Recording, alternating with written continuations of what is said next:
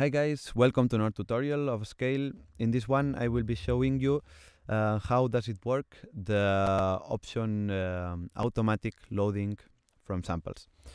Um, we will uh, create uh, an AFC test, so I will be I will name it. Uh, it actually doesn't matter because we will not uh, be make it create the test until the end but we'll name it um, 2AFC uh, auto and we confirm it. Um, so we would fill uh, the options and once filled then we would uh, go to add samples. Uh, we select the option auto which means automatic and then we can we have to choose one of those of um, of those options uh, only one um, the I will explain a little bit how does the the automatic loading uh, option works.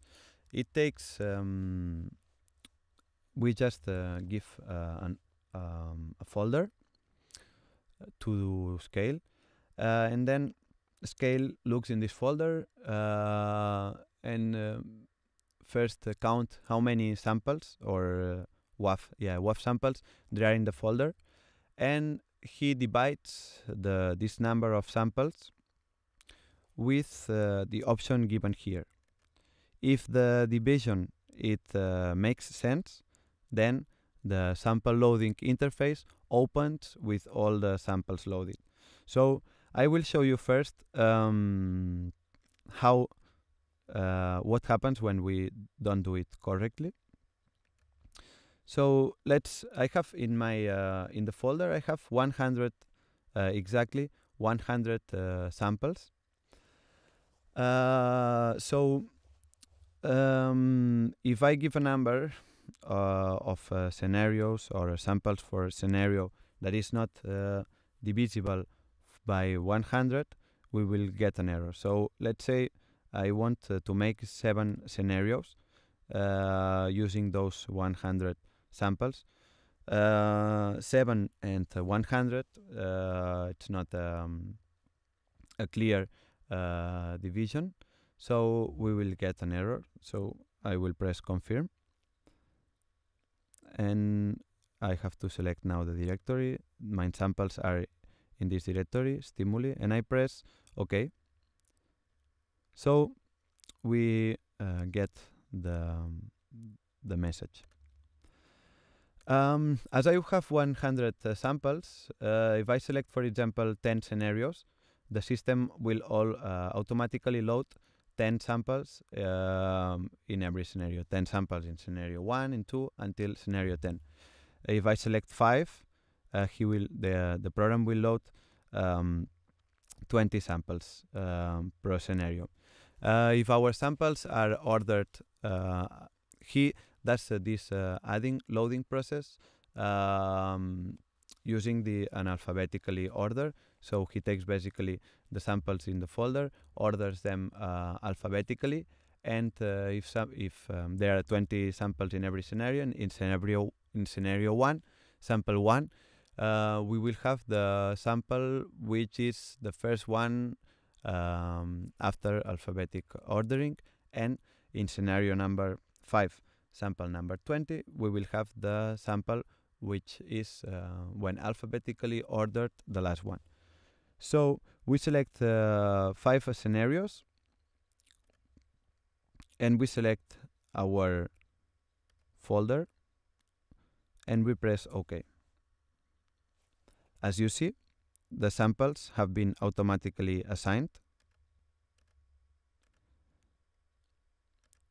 in scenario one, we have the sample that alphabetically is uh, lower. So this one is tone 0, 1, 2, 5. And in scenario 5, the last sample is tone 2, 0, uh, etc. Um, we can, once we've done this, we can also modify, like, yeah, uh, modify the samples. Uh, again, we can um, erase samples, we can add samples, uh, all the samples in the that we have imported, they appear here, except the ones selected in the same scenario, as you have seen maybe in another tutorial. And yeah, basically this is how uh, works this uh, au automatic loading from samples. I will show you now when what uh, that we can do this, uh, but instead of selecting since the beginning a number of scenarios, we can select also a number of samples. So I press cancel, and I will make the same. So I will select add samples, automatic, and now we will add uh, instead of choosing number of scenarios, we choose samples per scenario. So we select now, for example, 10 samples per scenario. I remember that we have uh, 100 samples. So if you make the count, uh, now we will have 10 scenarios. I press uh, confirm. I go to the stimuli folder. I press OK. And as you see, we have now 10 scenarios with 10 samples per scenario. So yeah, this is basically how works the, this option.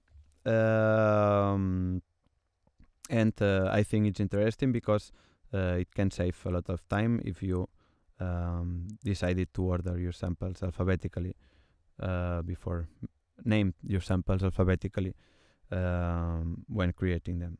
So yeah, thank you for watching. Um, and uh, if you are more interested, you can watch uh, another tutorial uh, of a scale. Thanks and bye bye.